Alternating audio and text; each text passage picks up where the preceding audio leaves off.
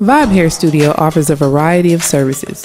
We pride ourselves in the hottest styles, latest trends, and can service all of your hair care needs. One of our protective styles is our custom wigs, which allow you to choose from a variety of colors, styles, and lengths of hair.